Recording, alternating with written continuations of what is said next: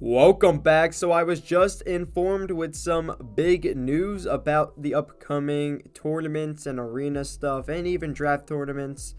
So, yeah, um, I was wrong. Uh, we're actually gonna have to wait a little bit longer for all this stuff to come out, which is really unfortunate. So, as I said, uh, for arena and eliminations and the draft tournaments, uh, we're supposed to be getting like the arena stuff and eliminations first, and then draft tournaments comes out uh, a week later. So right here, you guys can see that uh, Nick said it might come out on the 29th, maybe, but that is the elimination tournaments and just the arena stuff, uh, the update and all that.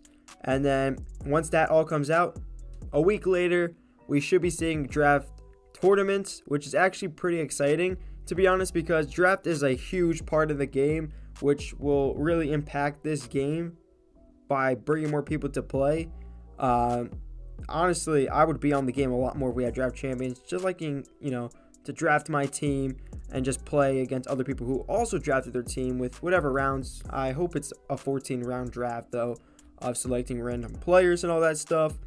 Uh, but yeah, I can't wait for all this stuff. It is something huge in the game. So around, you know, March 29th, we should be seeing the update and then draft a week later. So, kind of pushing towards April, we should be seeing draft tournaments. So, that is really the kind of updated news because my last video was just me predicting uh, from the news that I heard a while back. So, I just got informed with this new news about all of the stuff that will be coming in a near update in the end of March and then a little bit towards April when we see the draft tournament. So I hope you guys did enjoy this one.